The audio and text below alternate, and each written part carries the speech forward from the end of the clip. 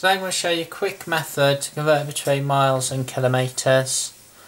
Um, so you have to remember then that 5 miles is equal to 8 kilometres.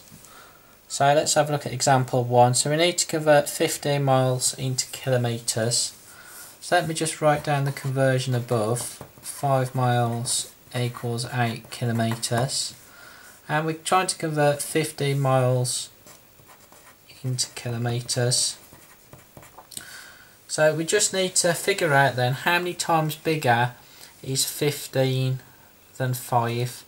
So if you do this by working out 15 divided by 5, so that is 3. So 15 is 3, 3 times bigger than 5.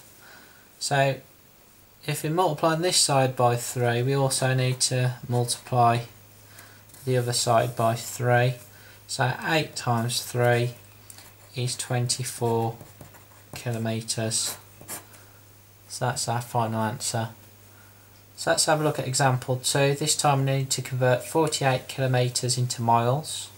So again copy out the conversion above. 5 miles equals 8 kilometres so this time we have the kilometres amount. So let's write this on the right hand side. So this time we need to figure out how many times bigger is 48 than 8. So you can do this by doing 48 divided by 8, which is 6.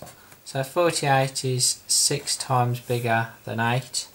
So if we've multiplied the kilometre side by 6, we now need to multiply the miles side by 6 so 5 times 6 is 30 miles. So that's our final answer. Thanks for watching